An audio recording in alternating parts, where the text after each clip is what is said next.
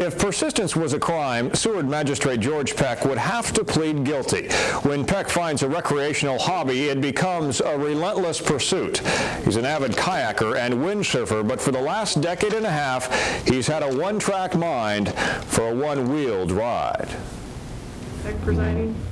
If you run into trouble with the law in Seward, chances are you'll get to meet Magistrate George Peck. Do you understand your obligations as a third party to the court?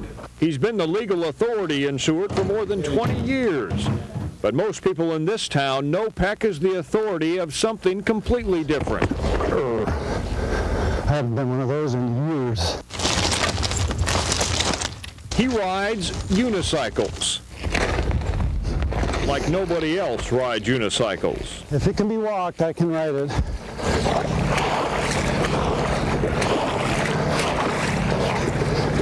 Ha-ha! Take that, you varlet. Peck is considered the world's best rough-terrain unicyclist. One of his favorite riding spots is this rocky beach across Resurrection Bay from Seward. Here, he displays his balancing ballet.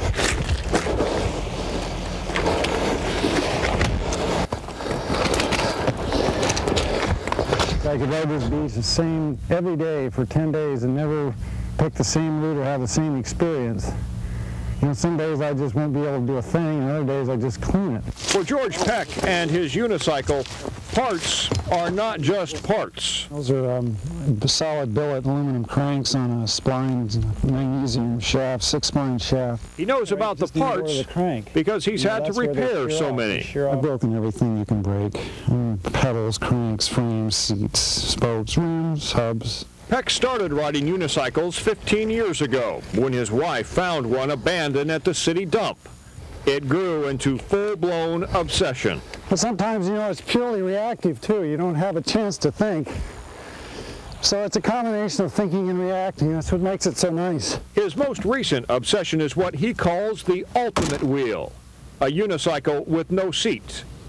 And if there remains any undiscovered challenges in this unique sport, this unique man, the Seward magistrate, will probably find them too. Now, Peck says he has ridden as long as 26 miles on a single ride. Uh, that was over the Resurrection Trail. Tough ride for any bicyclist, uh, let alone unicycles. For newcomers to the sports, he says the uh, most important qualities, persistence and conditioning. And a seat.